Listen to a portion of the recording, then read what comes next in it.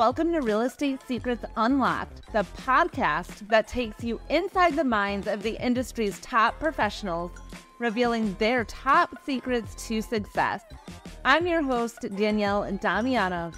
Whether you're a seasoned pro or just starting out, get ready to learn the latest trends, strategies, and secrets that will help you succeed. Join us as we go beyond the basics and explore what it takes to make it in the world of real estate. So, buckle up and get ready for a wild ride. This is Real Estate Secrets Unlocked.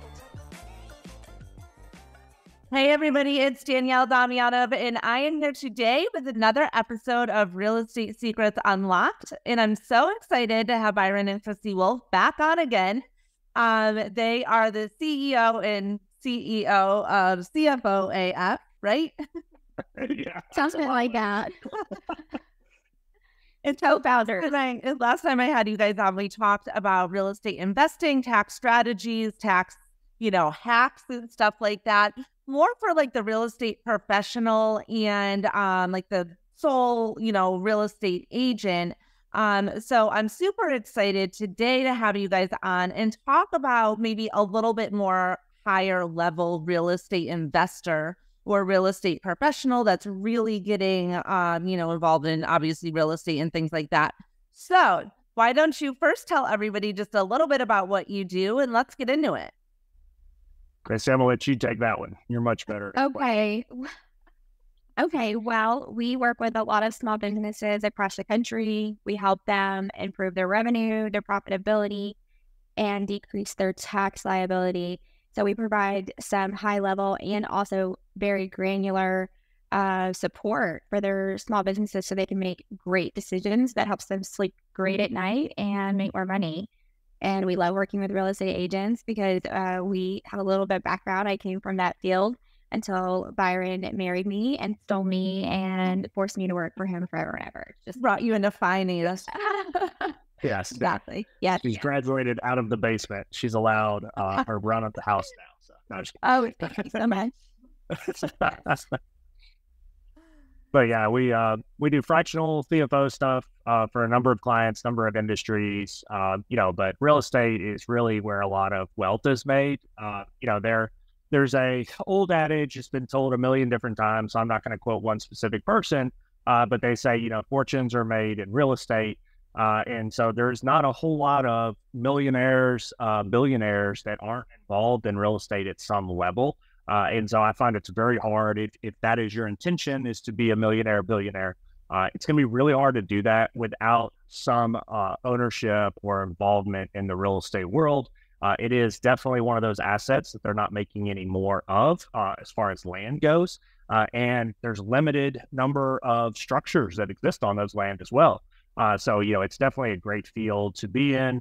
Uh, we love our real estate partners. They are generally very, very motivated. Uh, they understand our mentality of we are going to work 80 hours a week to avoid a 40 hour uh, a week job. Uh, you know, real estate, you know, agents tend to put in a lot of hours. Uh, and so we appreciate that about it.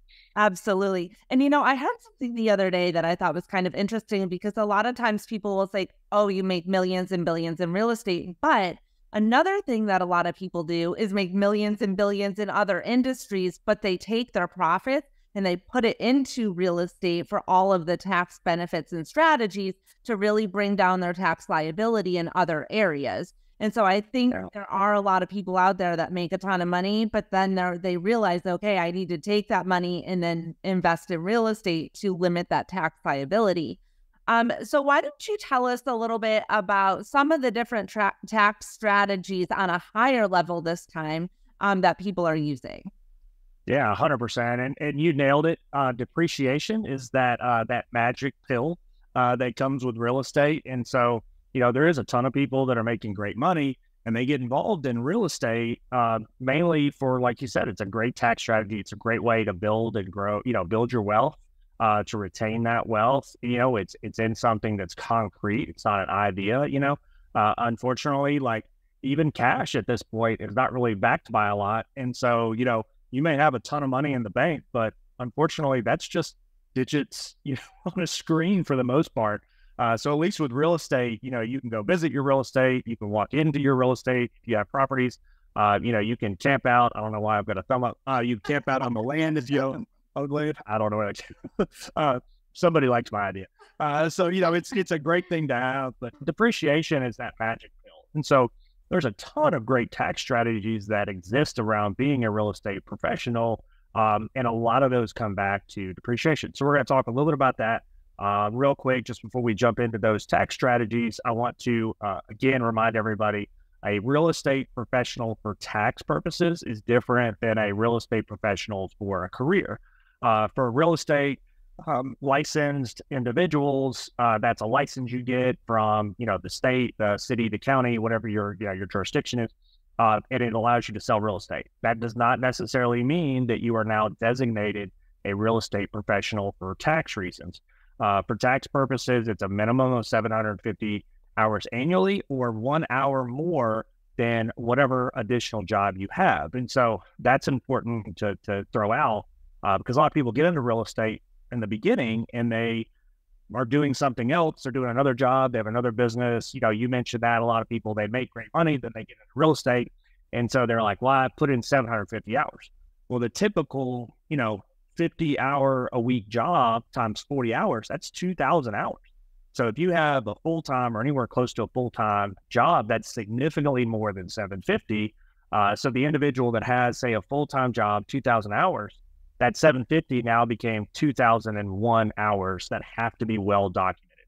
Um, so that needs to be thrown out just so everybody knows. Um, again, like I'm talking strategies at a high level. Uh, so all this is is I guess you would call it tax advice, but tax advice is very specific to the individual. So um, if people are listening to this and they're like, "Oh yeah, I heard it from Byron. He's a CPA. Like, you know, I use this. Like, I this, this you know, talk to a CPA. like, don't take this general information and run with it.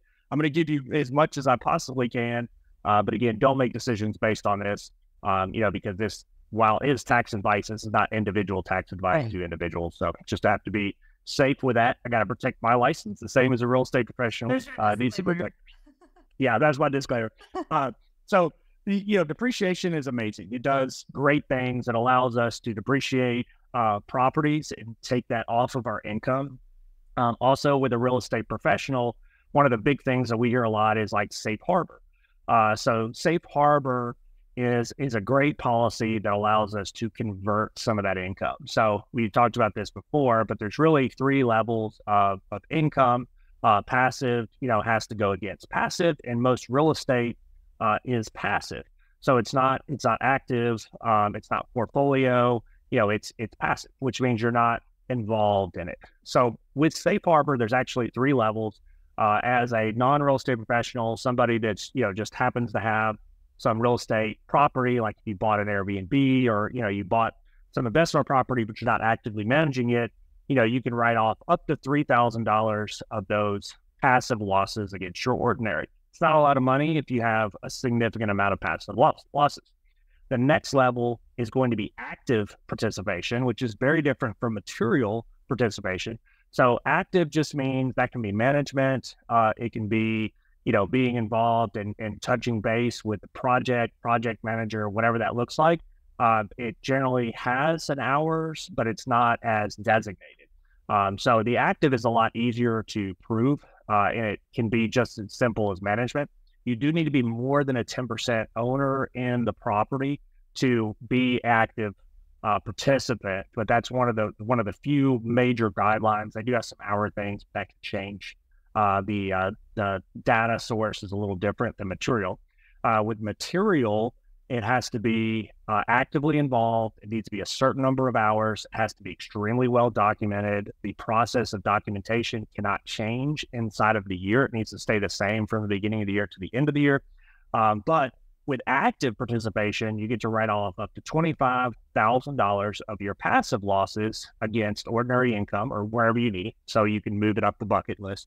Um, you know, that, that scales out at 100,000 AGI uh, adjusted gross income at 50% uh, above 100,000. So just by doing the math, you know, 25,000, 150, it's gone.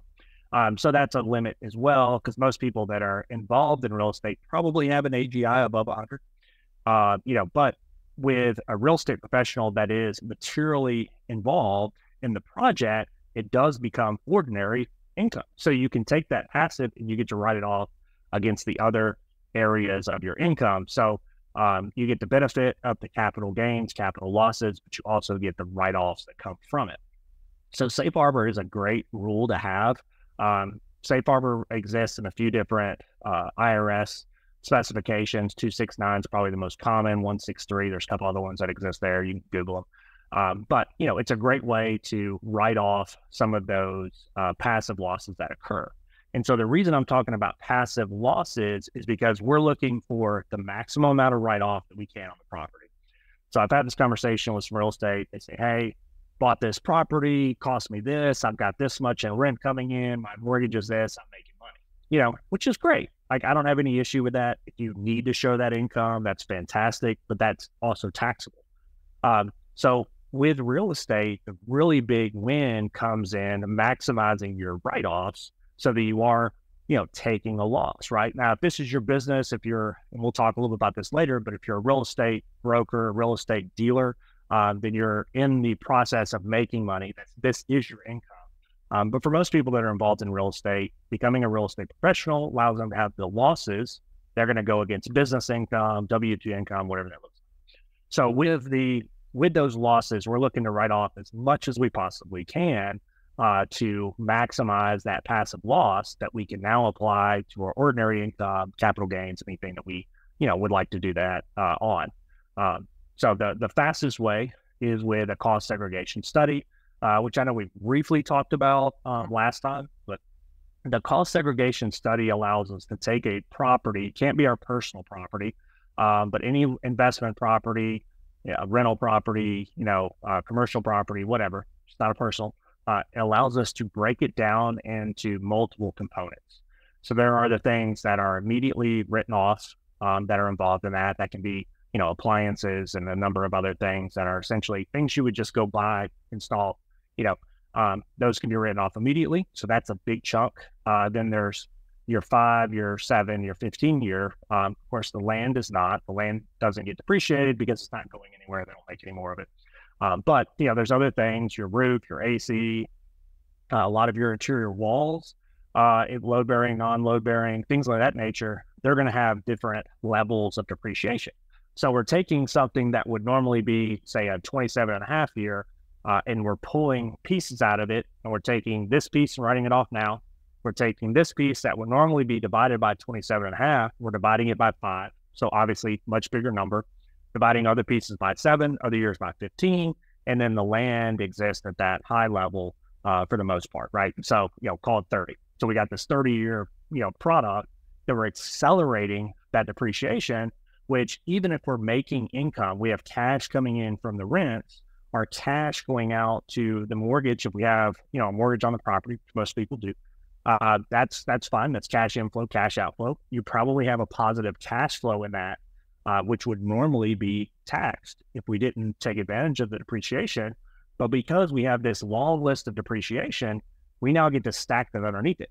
So we've got cash coming in, we got depreciation that goes against it. So we're not paying tax on this income that we would if we didn't do it.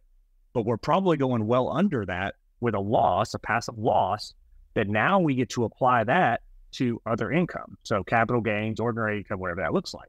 So you end up, you still show good income because the beauty of it, banks don't look at depreciation, a lot of these other things as um, as you taking a loss and being a bad credit risk. They look at that top number and they say, all right, cool, depreciation's out because it's not a cash item. So this property makes money. You know, they're doing well with this. They're making money over here with their other business, their W 2, whatever. So you're a great credit risk. You can continue to buy properties, even though you've taken advantage of the tax strategies to significantly reduce or sometimes eliminate your entire taxable liability. Uh, and so that's why it works so well. And that's why I love what you said. Even people that aren't in real estate end up in real estate, you know, if they want to be a millionaire, billionaire, whatever, um, because of the amazing tax strategies that come from it. So uh, that's just a quick overview of depreciation. Like I said, depreciation is really that magic pill that comes into play. Um, but there's also some other uh, strategies that we can we can definitely go into if you want to get into some more. Yeah, and I, and I want to you know just um, touch upon one of the things that you said that was so true because I'm in mortgage. I do loans. I see tax returns, you know, every day. um, when we're looking at tax returns, whether it's in real estate or it's, you know, just a business owner, um, we always look at that adjusted gross income, the number at the bottom, but we do add back the depreciation and the depletion. That is income that can be added back when we're calculating the income. So great point there. You can use it in tax, you know, write off strategies, but that income is not going to penalize you when you go to get a loan because we add that back in. So good point there. Oh, yeah. Yeah, I love that. Love that. It, um, before we were, you know, uh, before we got on here, we were talking a little bit about like a real estate dealer and, and things like that. And I just want to want you to talk a little bit more about what a real estate dealer is, different than a real estate professional. What are some of those tax, you know, um, benefits and strategies and stuff like that? Yeah, of course. So a real estate dealer, they're actively involved in essentially flipping properties. Uh, so the designation with a real estate dealer is they're not looking for long term. Uh, they're generally looking for short term.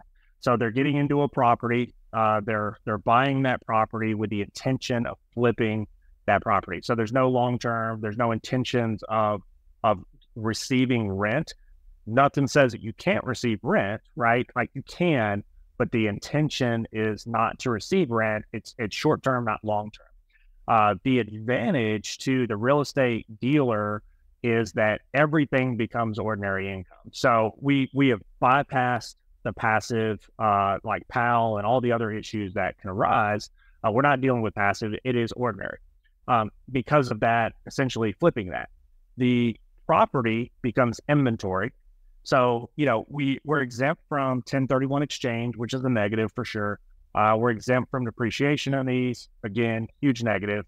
Um, but that's because the property is an inventory item. No different than if you, you know, if you had a store that was selling trucks, you know, those trucks are inventory. You you buy trucks from wherever you get them, and then you sell those trucks to other people. You're taxed on uh, the difference between what you sold that truck for and what you paid for that truck. Same thing with the real estate. Um, you know, a real estate dealer, they're only getting taxed on that.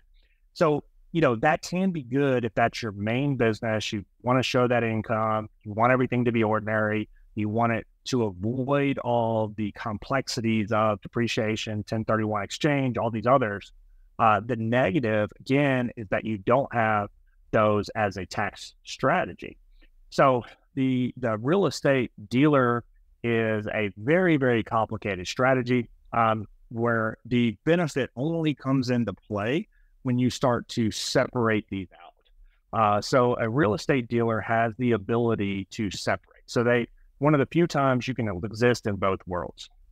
You can be a real estate dealer on the flips, the things that you're buying just to turn around and sell. You want that ordinary income that comes from it. You can also have other items that exist in the real estate professional world that are going to uh, qualify for 1031 exchange, cost segregation studies, all the other benefits that you have. And so the reason I say it's complicated is is having both of these and knowing how to utilize both sides of it is a complicated dance. Um, so 100%, this these are people that have gotten to a point where they probably have somebody uh, actively managing their portfolio, um, probably have a CFO person that's saying, hey, this needs to go here, this needs to go here, this is our balance, this is our forecast. So we're we're expected to make this much money this year in this project. We need this much over here in our real estate professional world that we can use for for write-offs to offset that. So we show an income, but like you had said, you know, when you're looking at it for mortgages, that that money comes off uh, off of that that loss comes back in, so it shows an income. So it is very, very complicated. The the benefit comes in play when you are strategic and balancing out your essentially, and I, I, say flips, but you know that's just a common term for buying something and then immediately reselling it or attempting to immediately resell, uh, and then having the properties that are over here that are rent or whatever, uh, and you do need to designate that. So you can even have a project that exists in both worlds. Um, that gets super complicated. But you can have a project that you purchase, uh, you know, specifically to flip. Um, but then there's there's a rental aspect uh, of that that can happen. A lot of time that is uh, people that are buying multiple properties. They package those together to resell. um, but there's a time frame to do that. You know, I'm going to buy 10 properties uh, and then I'm going to turn these 10 properties into this package that I'm going to sell to a, REIT, uh, a real estate investment trust uh, or an investor or whatever that looks like. So we need to take out the ones that we want to keep over here for the rental or to get the depreciation or whatever that looks like.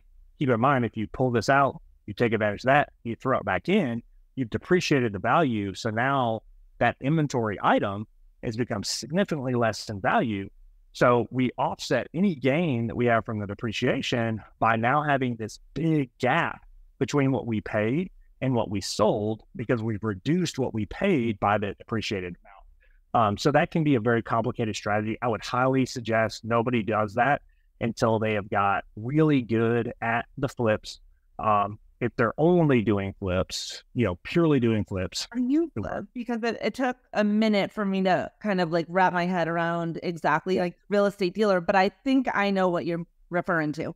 So wholesalers basically will let's just say they have a property, they meet with a seller, the seller says, Hey, I'll sell it to you for two hundred thousand dollars. What they do is then they go and sell it to somebody else for two twenty right? So they're immediately they may close on it, they may not close on it. Sometimes they it might be a simultaneous close. Sometimes they don't really have to. They just get their assignment fee, you know, at the closing table and you have the end buyer. I think that might be what you're referring to when you're talking about real estate dealer. Um, and then the flips, I mean, we, my husband and I flip properties. Um, so basically you buy a property and we bought from wholesalers or, you know, dealers, yeah. right? You buy a property for 200, um, you put a hundred thousand dollars into it, and then you sell it for you know whatever four, you know four fifty. Um, so those are more of like your fix and flip type of properties. So when you talk real estate dealer, are you meaning like those wholesalers that are not really holding the property very long, right? They're just turning them quickly. Uh, yes and no. So a wholesaler is is a different yes, they're they're essentially doing that. They're doing that at probably the lowest level uh, of a real estate dealer um, because a lot of times they're selling the contract. You know, they're not really selling the home, so it wouldn't really apply there unless they're actually taking possession of it. Selling the contract or selling the right is going to have kind of that same piece because that is ordinary income. Um, when they do that, because they didn't take possession of anything, so there is no inventoried item. Um, it's just essentially selling a service. So you're a broker, um, so to speak. Uh, you know, so yes, kind of, but not exactly. So when I talk about that that real estate dealer, some of that does apply um, because there is some of the same tax uh, benefits and, and, differences in that. Um, and and I would assume when you're talking flip, uh, you're not talking like buying a property and essentially selling it immediately as is uh, you're talking about buying a rehab and then selling for an increased rate, right? Exactly. In this day and age, yeah. I can say back in 07, we were flipping a lot of properties and like not even, you know, um, you can flip them in a day and not have to do anything. But yeah, in this market for sure. Yeah. So with those, I have found um, if you're going to do the rehabs and then sell them for a significantly higher ticket, uh, it's still good to take advantage of the real estate professional um, because we get to write off all of those pieces. We can do the depreciation that that will allow us to, to take that hit. Um, and there's enough that goes into it that we can boost the value on the rehab so that our capital gains aren't as bad. Um, and because we're a real estate professional, we get to take advantage of the ordinary income rules. Um, so I would still suggest for like that nature to not do the real estate dealer um, because it does get more complicated with the with a real estate dealer if you're doing a rehab, remodel, anything like that. Mm-hmm. Uh, so when I when I say flip, um, and I'm not using the term correctly, uh, I mean like bought a property, immediately throw it back on the market the way that it sits, uh, okay. or buying multiple properties to combine those properties and sell that uh, as it sits. So there's there's a very short window of purchase to sale. Um, and that's why, you know, when you're talking about, you know, our wholesalers, uh, yes, that some of the same tax consequences, benefits uh, that apply would apply to um, to them as well. Uh, but that's really most of the time that's selling a contract. Very rarely do they actually take possession uh, of the home to resell it, like you said, unless generally same day or maybe some kind of next day uh, but they generally don't take possession. They're generally not doing any kind of rehab, remodel. I mean, I've seen some wholesalers go in and do some things to try to get more money, um, but that gets super complicated on the write offs because technically it's not their home when they do that because they have to take right. possession. So you can get into some hot water in that scenario. But I, I, I love that point. That's a great point. I'm glad you asked it because it does help me to clarify uh, why you would be a real estate dealer and exactly what that means. So um, it does not really apply to the rehab remodel scenario. Um, really, it's just in the, the true like buy it, hold it for a very short period of time, sell it for more money. Um, but wholesaler, 100%, that, that comes into play. Real estate uh, wholesaler, uh, been around for a long time, but it's become very popular uh, fairly recently, you know, because of the huge appreciation value of properties, which has been fantastic. Uh, you know, and I think like when we get the pullback on the rate, um, I think we'll still have that. I know there's still wholesalers that are doing, you know, extremely well. Uh, I've seen some wholesalers that are focused in the avenue of essentially holding the the mortgage.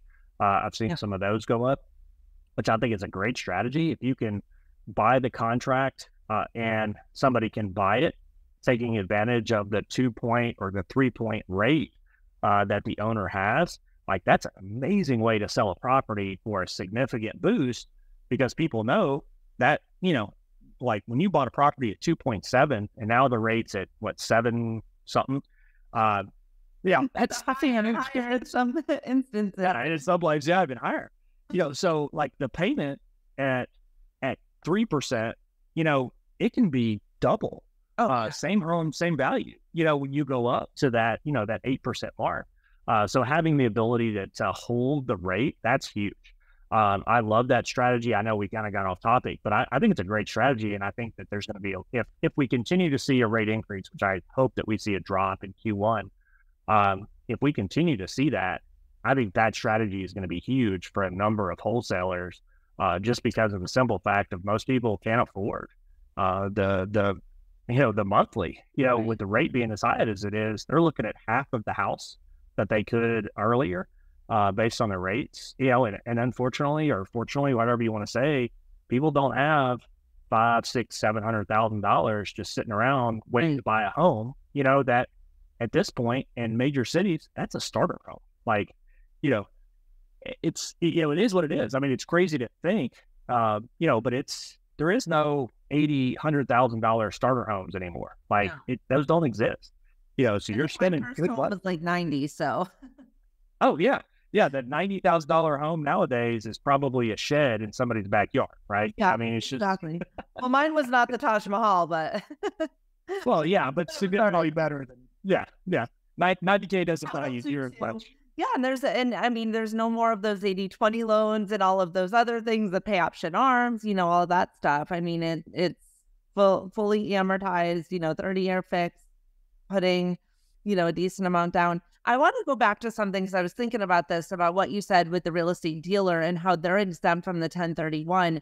Is that because of the time frame that okay. I just wasn't sure so, another reason or yeah, so the 1031 exchange is very specifically uh, involves that depreciation. So it, it's going to impact, you know, minimize the impact of the depreciation that's on it. Uh, and it is specifically for taking uh, an asset that is subject to the capital gains, capital losses, and uh, exchanging that for another one to essentially defer the, the tax implications of it. So a real estate dealer, everything that they do is is this is inventory, and I sell it. Now I'm paying on the difference. So everything is ordinary income. The depreciation doesn't come into play. Uh, so that that's why the 1031 uh, doesn't work. You know. So now I, the argument could be made that essentially it's it's kind of the same concept. You know, you you sell it for this, and now you have this additional cash that you use to buy this property, and now because you sold it for more, you can buy a more expensive property, and that works as well. Uh, but again, you just the basis, you know, like with the 1031 exchange, you need to know basis. You increase the basis, increases the tax, defer the tax. Same concept with a real estate, uh, you know, dealer because they've they've bought something that has this value. They sold it for more money. They have the option to buy something with that more money, or they can buy something for less money, even if they wanted to. So there's more availability for decisions. Uh, you know, they don't have the time limitations. You know, with a 1031 exchange, we really need to have our next property needs to be ready to go. Like they should have spoken to you before they even thought about selling the property, you know, because they need to know, hey, we're approved. This is the property we want. You know, we're we're selling this one, and then we're immediately getting into this one. Um, you know, and they do have like a time frame in that, but it's not long. You know, it's it's a basically 30 days.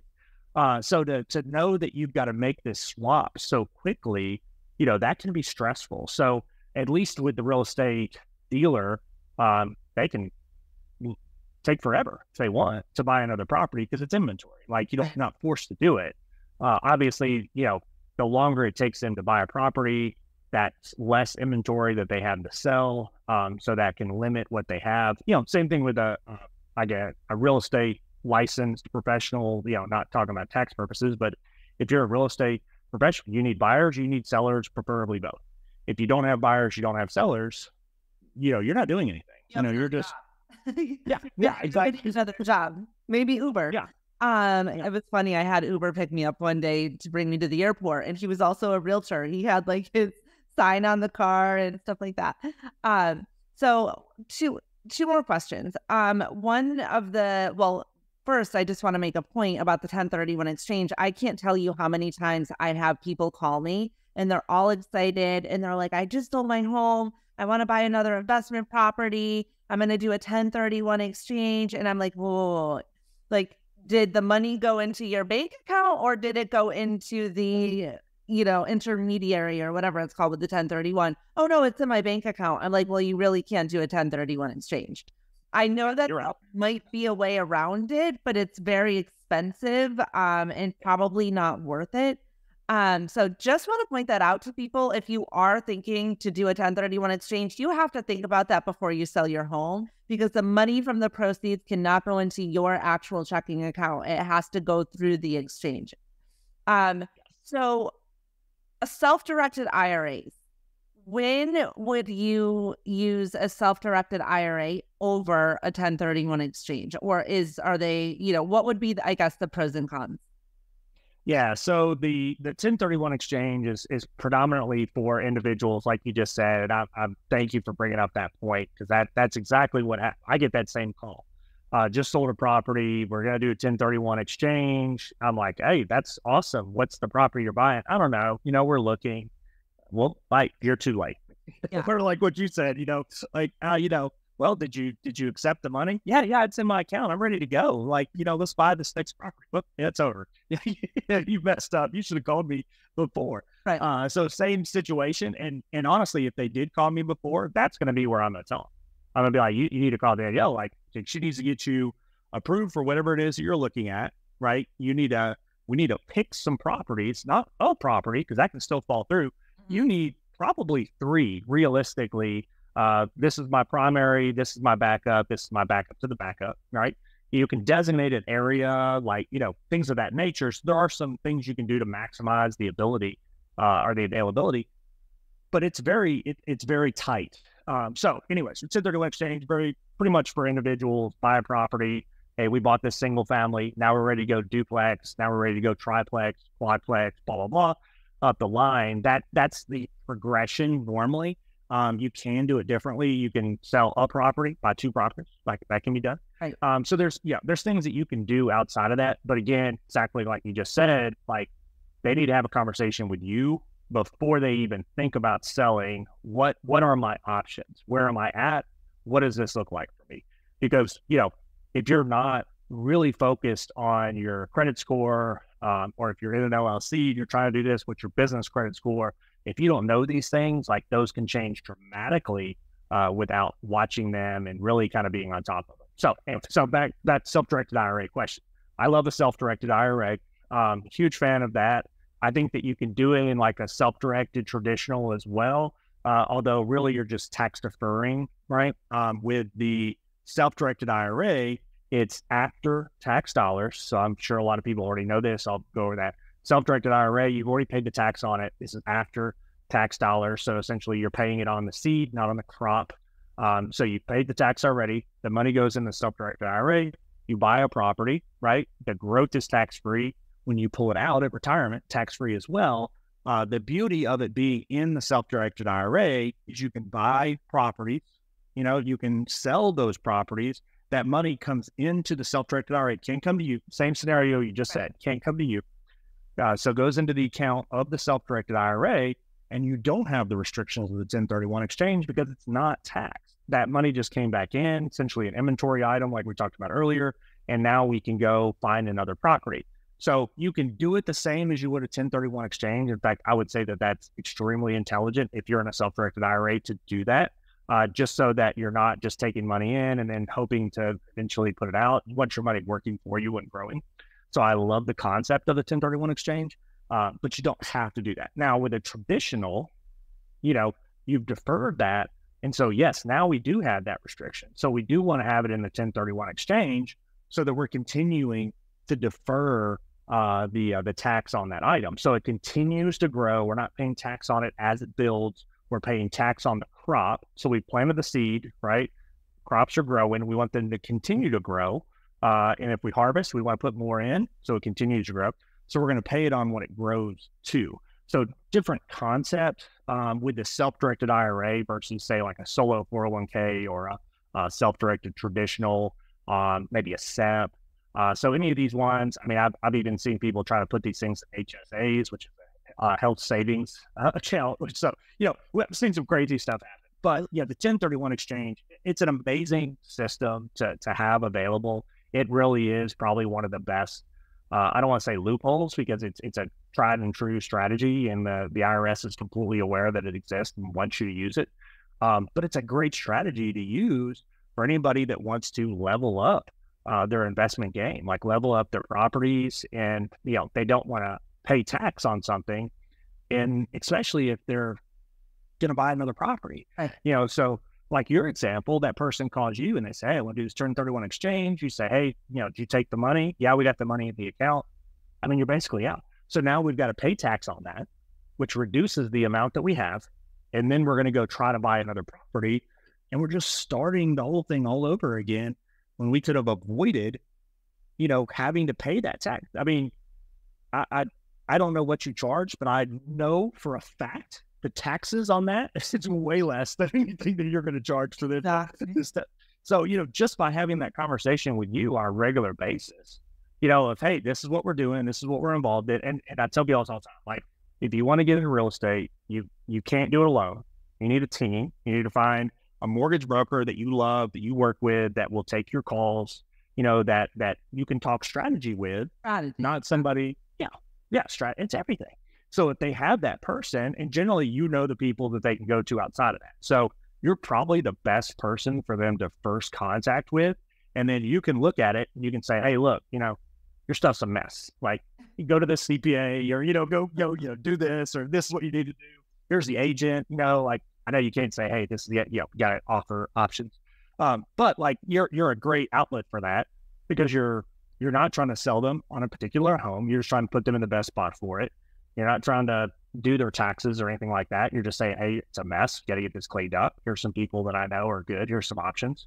So they you can really be a partner for them and where they want to be in that process. Uh, that's not just there to like make money, right? Like, I mean, obviously that's the whole point while we're in business, but there's no there's no benefit to them getting advice from you necessarily other than that relationship that comes with working with you, uh, you know, in long term. Yeah, it's all about, I mean, looking at the whole situation. And that's why people will call me and say, So, what's your interest rate? Well, I don't know. Like, I don't know what you qualify for. I don't know what loan program. I don't know what your credit score is. How much do you want to put down? All of that goes into interest rates and payments. And so, once I can see the entire situation, I can either say, Yes, this is what you're approved for, or let's put you on a plan for the next six months to be able to get you into an, a home. The great thing for investors is that there's so many programs out there where it's no income in some cases no asset. They look at the specific property and the credit score of the person buying and you can even close them in a business name. So there's a lot of loans out there where it's like okay we're going to do this type of loan and then you know if you're going to refinance in the future we'll get you all set up so that everything's looking good to refi Um, last question, since we're getting onto mortgage, um, what are some of the biggest write-offs? Because obviously interest rates are high, right? And so for a person that's, and I'm not talking like real estate and real estate investing or just someone buying a home, what are the biggest write-offs on that home closing that you can use, um, at, you know, as a tax strategy or to, you know, reduce your liability? Yeah. So, you know, if you're if you're buying a home, uh, you know, there's a lot of things that can go into that, uh, into that write off. Like obviously all those closing costs, all the other things that are associated with. Uh, you can write off the uh, the the interest on that. Um, so there's a lot of things you can write off. I will say probably one of the best things you can use as a real estate uh, professional um, is you can convert your primary resident uh, to an investment property which gives you the ability to depreciate that property.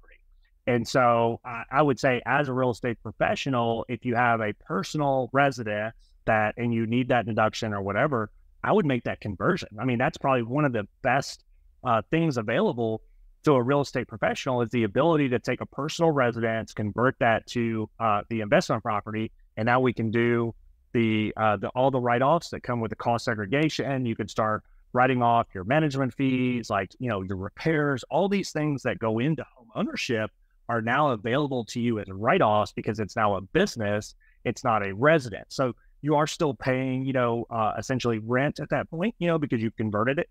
Uh, but like you just said, you know, there's so many programs that allow you to close in an LLC, which is fantastic. Uh, so you have this ability to do that. And then as you do that and you get good at that, I think the next step for a real estate professional is the ability, uh, you know, within that to do the special allocations. And so a real estate professional becomes honestly probably one of the best partners that a non real estate professional can have going. Wow, that was amazing. Oh. Uh, I don't know where that came from. Uh, that's pretty cool though. Uh, so yeah, I don't know. Fireworks. I got is that like a time thing we went over? that was awesome. Yeah, no, about it. Is that our first time, Danielle, for the uh never seen that to just uh, has that happened to you before? Like I've never No. you it looked like that. snow. That, yeah, it must be your AI. it must be. I don't know what that was. Must I magic happening. Yeah, yeah. Well, anyway, it's so early for all of this. Gosh. It's not even lunchtime. Right. Uh, look, but uh, you know, as a real estate professional, as you as you get these skills and you make these conversions, that special allocation makes you a great partner for somebody that wants to get into real estate uh, because you can you're allowed inside of that LLC that you have a partnership with. You can do the allocation of how things play out. So you can allocate depreciation, allocate income, um, you know, allocate losses. So like depending on where they fall in the bucket and who your partners are, you can allocate these things as a real estate investor so that it has the maximum benefit for the people that you're involved with. Uh, I would say if that is a strategy that you want to move forward with, they, uh, you know, the real estate uh, agent, real estate professional, 100% needs to talk to somebody like you that that can help them through that process. You know, because as you know, one person buying a home is way easier than an LLC or like multiple entities or multiple member LLC buying a property. Like that gets complicated. Um, but the advantages that can come from that are huge. So they need somebody like you that can walk them through that process and make sure that they're doing it correctly. And honestly, even if they know how to do it, I would argue way better to pay somebody to to do that stuff, like to handle it, because your time is much better used in in the actual real estate that's going on um, so that you can move forward. Like tons of people can do their own taxes, right? Like I can do them a lot better. I, I can find a lot more write offs that are going to way pay for whatever the fee is, uh, you know, and they're going to be accurate. And that's not most people's best use of their time. No. You know, so, you know, yeah, utilize the professionals. Exactly. And one of the things, just you know, last point here is that um, you mentioned turning your primary into an investment property. Fannie Mae just changed the guidelines on a two to four unit, right? So if I was in my early 20s, the what I would be doing right now is I would be buying a two to four unit property as a primary residence. The minimum down is 5%. So you put 5% down on a two to four unit. It's a primary. You got to live in it for a year. A year later, you can convert that into an investment property and then you can go and do it again, right? I mean, you literally got five, two to four units in five years. And yeah. the, what you're collecting rent from the other units could potentially, you know, obviously reduce your monthly payment, or who knows, maybe you're getting enough rent that it's covering your monthly mortgage payment, right? So that's what, if I was young right now, that's what I would be doing. Um, unfortunately, stage of my life, I cannot live in a duplex. But yeah, but if I was 20, I would. Yeah, no, I I love that. I mean, you know, for anybody that's getting into real estate, or even somebody that that you know has no intentions of being a real estate person, uh, I mean, that's a amazing strategy that you've started that process. You know, and and like you said, it it can pay your entire mortgage, so you're living for free. You may even be making money if you buy it right. right. You know, and and then you're set up for that 1031 exchange to move into the next big one, next you know next one. And as you develop in life, and you get to you know the the age you are, or even older when you get to my age, and you're like, I don't want to live with shared walls, right? Like you turn that straight into an investment, and you can buy a single family property, and your your multi may be paying all of this, and your single family, you're living for free. Like I, I, agree with you. If I was 20, 100%, that's exactly what I'd be. Or 18. Yeah. You started at 18. You know, might need mom and dad to co sign, but it's, it's right. Possible. Absolutely. Yeah. yeah. Awesome. Well, thank you guys both so much for being on. A ton of tax tips. Um, if anybody wants to reach out to you, where can they find you? What's your website? And I'll put everything in the comments as well. Absolutely. They can find us at cfoaf.com and you can email us at hello at cfoaf.com. And, uh, you know, we'll get back to you pretty quick. So reach out with your questions. We're happy to help. Absolutely. And they're nationwide. So like they don't you don't have to think, oh well, I live in Massachusetts, so I'm, you know, they're in Arizona or wherever, can't call them. They're nationwide. They can help you. They work with people nationwide. Um, they will reduce your tax liability. They're awesome. So CFOAF.com, Byron and Krissy Wolfe. Um, thank you guys. This was fun, like a ton of great information, um, especially for real estate agents, real estate investors. So I appreciate it. Thank you so much, no Danielle. Thanks for having me. Always fun, guys. Well, that's a wrap. I hope you enjoyed today's episode of Real Estate Secrets Unlocked. Don't forget to subscribe to our show on your favorite platform, and we would love your feedback. Check us out on social and let me know what topics you want more of. Don't forget to like and subscribe to our channel and our show. I'm your host, Danielle Damianov, and until next time, stay motivated, stay excited, and keep growing in this crazy world of real estate. Thanks for listening to Real Estate Secrets Unlocked.